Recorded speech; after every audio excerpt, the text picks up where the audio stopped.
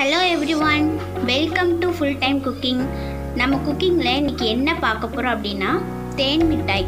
இந்த தேன் மிட்டாய் ரொம்ப ஸ்வீட்டாக டேஸ்ட்டாக எப்படி பண்ணலாங்கிறத பார்க்கலாம். இது மாதிரி ஒரு பாத்திரத்தில்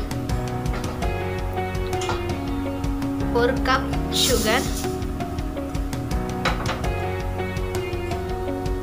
அதே கப்பில் டூ கப் வாட்டர்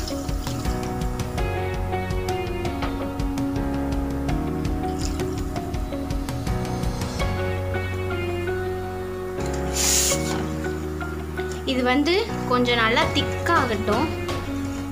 லைட்டாக கொதிச்சு வரட்டும்.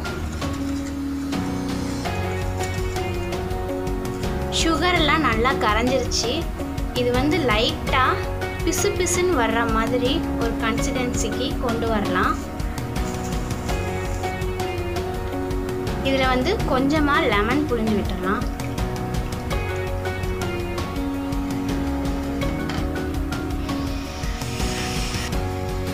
சீனி பாகு ரெடி ஆயிடுச்சு.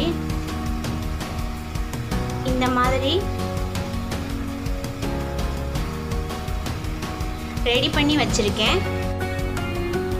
இது வந்து இட்லி மாவு ஃப்ரெஷ்ஷாக ஆட்டின உடனே லைட்டாக உப்பு போட்டு இந்த மாதிரி எடுத்து வச்சுருக்கேன். இதில் வந்து கொஞ்சமாக ஃபுட் கலர் சேர்த்துக்கலாம். இந்த மாதிரி தண்ணியில் கரைச்சி வச்சுருக்கேன்.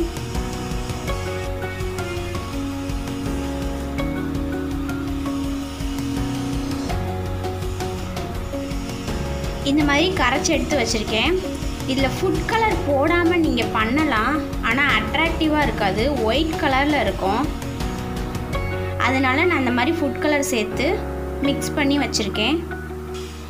இப்போ வந்து ஒரு பேனில் ஆயில் ஹீட் பண்ணி வச்சுருக்கேன்.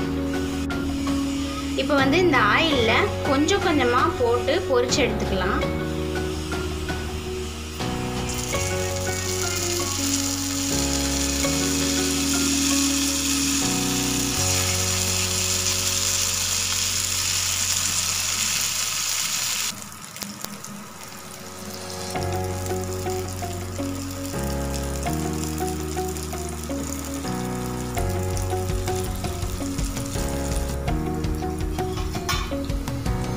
இதை வந்து இப்போ எல்லாத்தையும் திருப்பி விட்டுருங்க. இது வந்து நல்லா பொரிஞ்சிருச்சு.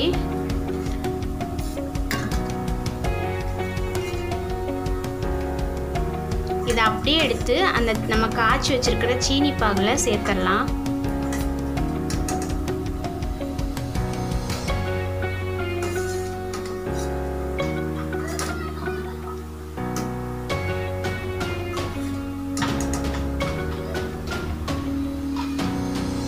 இந்த மாதிரி சேர்த்துருக்கேன்.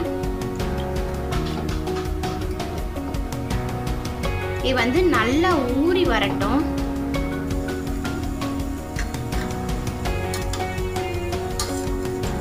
நல்லா அழகாக ரவுண்ட் ரவுண்டாக வந்திருக்கு. இந்த மாதிரி எல்லா மாவுலையும் பொறிச்சு எடுத்துருங்க.